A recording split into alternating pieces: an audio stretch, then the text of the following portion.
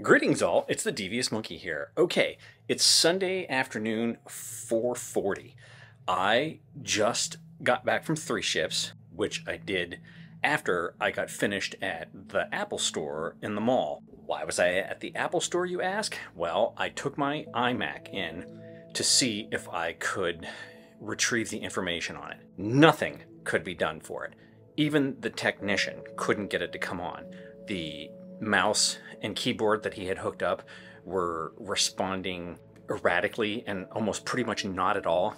And he said, All right, yeah, dude, I can't even get on to do diagnostics. That's indicative of a bigger problem than just memory or hard drive.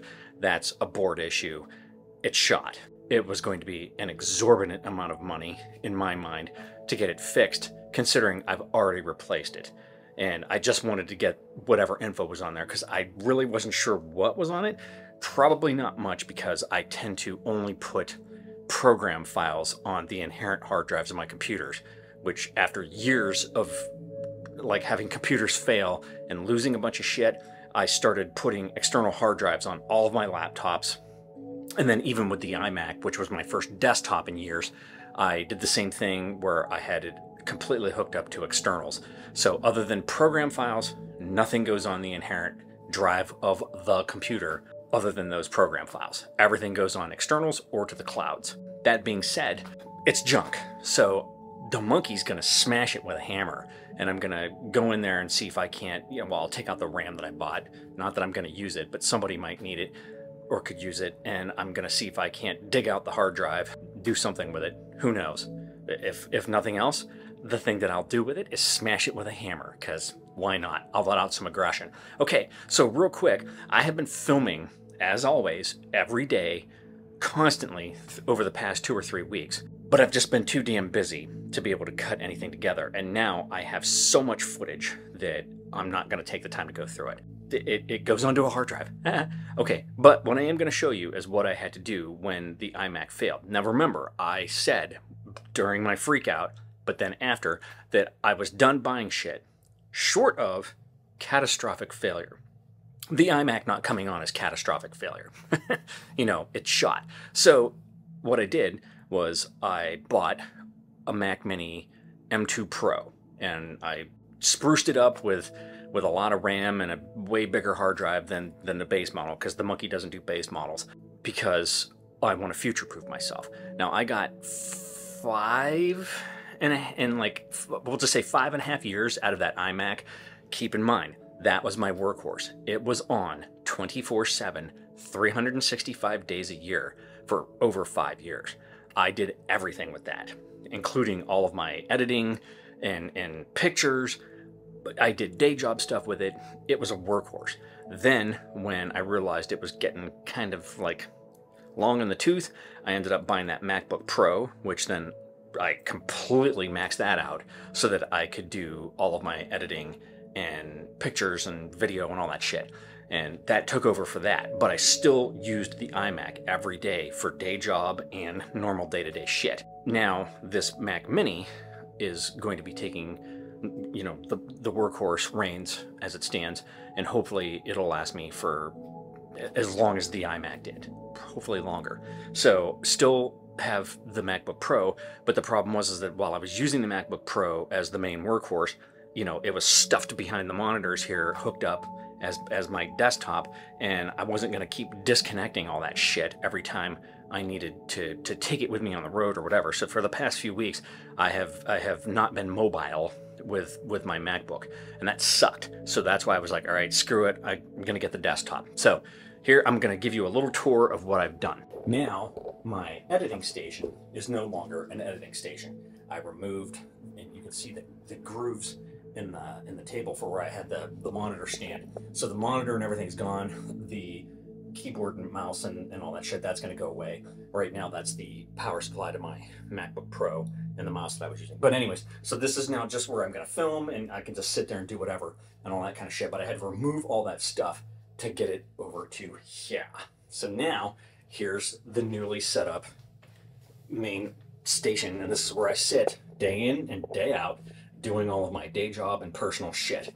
So here is the Mac Mini. I got a Mac Mini M2 Pro.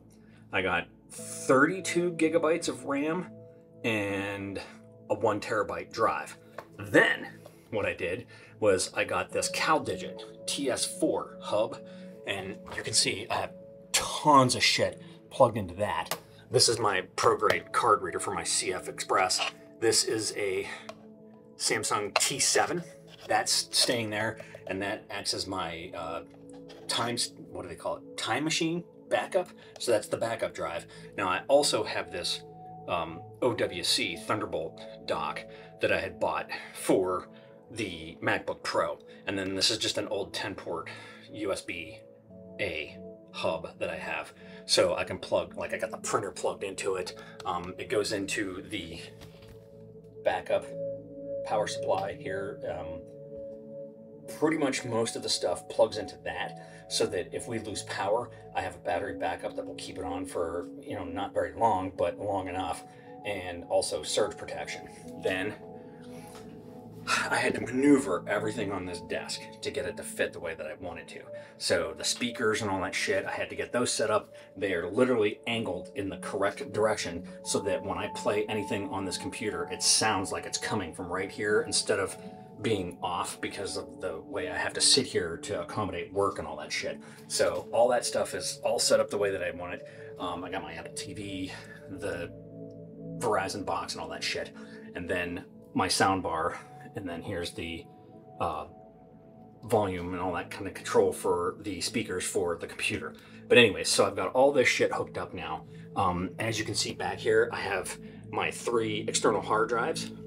I ended up going back to having all three of those hooked up. I removed one old like uh, SATA drive that I pulled out of an old Windows machine that I was using as my uh, time machine backup, but it's old and noisy and, and horrible. So I got rid of that and I put those over there. Now, what I've done is I have the 14 gigabyte storage drive that has the bulk of everything that I do on it.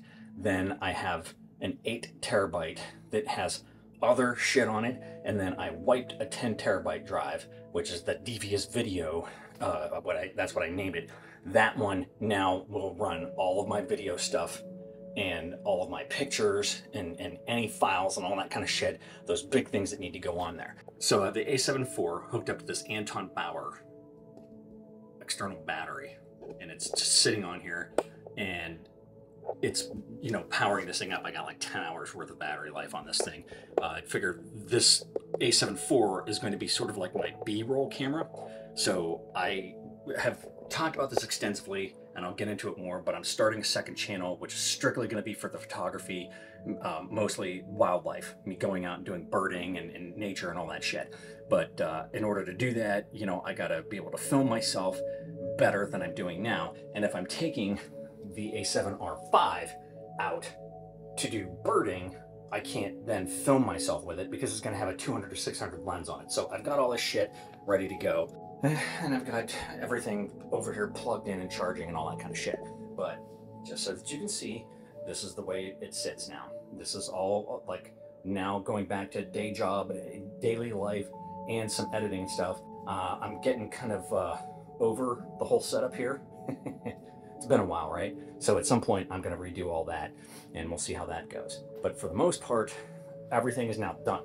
I've, I came back into town Friday, and you know, the, the TS4 was already there and the Mac Mini was there. So I was able to get that all torn apart and rebuilt.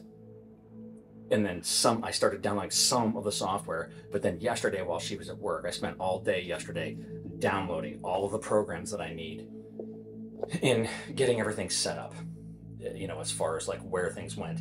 I did make one mistake. I put my filming folder on the hard drive of the Mac Mini and I went to check the spacing and I almost crapped myself when I saw that I had used over 800 gigabytes of that one terabyte drive. And I was like, holy shit, how did that happen? And then I realized because I put the filming thing on there, it has 660 gigabytes worth of, of 4K video on it. Oops. And that was all the stuff from when I went to go home and help my dad for that two weeks. So all that stuff is still on there, plus anything I shot after that. Um, and I don't know how I brain farted and put that on there. So I took that off, put it on the video external drive, and then wiped that off of there. Now I've only used like 230 gigs of that one terabyte drive, and that is is the way it's supposed to be. And that's all, again, just program files and all that kind of shit. Uh, I guess the one thing I didn't show you or talk about was that I dug out my GoPro. I have a GoPro Hero 8 Black, and I hooked that up to the monitor arms and all that kind of shit. And I have that plugged in here as well. And I am using that as my video camera for the Mac Mini. Uh, this one, the Logitech, is actually hooked up to my work computer. So when I do Teams calls and all that kind of shit, you know, I've got that on there. So yeah, this is the new workstation. This is the way that it goes. This is how I'm doing stuff going forward. So I had something else that I was going to say, and I can't remember what the hell it was. So if I think of it, I'll tell you later. But for the most part, all of the footage that I've shot over the past three weeks probably won't see the light of day um, unless I go through and make a highlight reel, which I doubt. Uh, it's been horrible out. It's been like torrentially downpouring. So I kind of was excited that I was going to have all this equipment show up so that I could spend these next few rainy days in here getting all this stuff set up. So that's that. Okay, since I still can't remember what the hell I was going to say, that's all you get for today. And uh, sorry that I haven't posted anything lately, but I've been busy life intrudes, all right? So, all right, that's it. That's all you get for today or for the last two or three weeks. If you have any comments, questions, or suggestions, leave them down below. As always, thanks for joining me. Be sure to like and subscribe. And remember, kids, forward and up.